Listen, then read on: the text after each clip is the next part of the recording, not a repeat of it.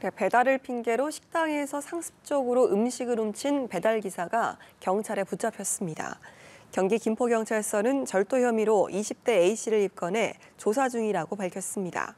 A씨는 최근 김포 시내 식당을 돌며 배달할 음식을 가지러 왔다고 속여 20여 차례에 걸쳐 100만 원 상당의 음식을 훔쳐 가족과 함께 먹은 혐의를 받습니다. 경찰 관계자는 A씨가 음식이 먹고 싶어 훔쳤다는 취지로 진술했지만 음식을 훔칠 만큼 어려운 형편은 아닌 것으로 파악됐다고 말했습니다.